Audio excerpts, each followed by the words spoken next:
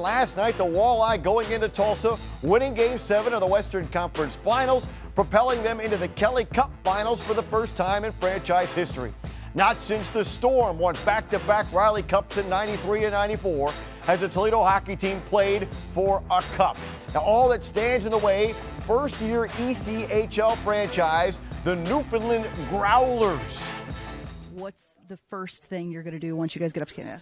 Uh, probably have the day off tomorrow, I'm assuming. But uh, you know, get on the ice there, get a feel for the arena, get a feel for uh, you know that team, watch some video on them, and uh, get ready to roll.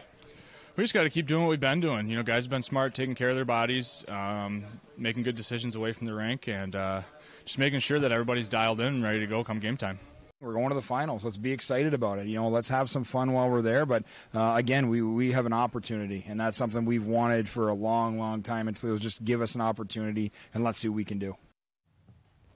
Cannot wait to see how it plays out. The walleye flying up to Newfoundland from Tulsa this afternoon in preparation for Saturday's game one. And there you see, we mentioned it several times now. It's a 2-3-2 format. The two to start in Newfoundland, followed by three in Toledo, and two again in Newfoundland if needed. Doesn't matter where it is, you can watch every game live right here on BCSN.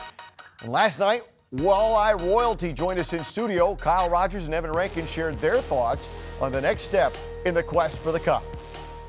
Start on time. Coach Watson talked about it all series. Start on time. The boys responded tonight, ended up with 17 shots in the first period with three goals got rewarded by a great start, and they carried the play throughout the game. Yeah, no question. Much better start to Game 7 than Game 6. Evan, your thoughts as they head to Newfoundland? Moving into this next round, you got to kind of, you're not reshuffling the deck, but you are having a new focus moving in. This is a, a huge moment for all of Toledo, for all these players, Berschbach, uh, Jenks, these guys that have wanted to be here for so long. They now have this opportunity, so it's exciting for all of us.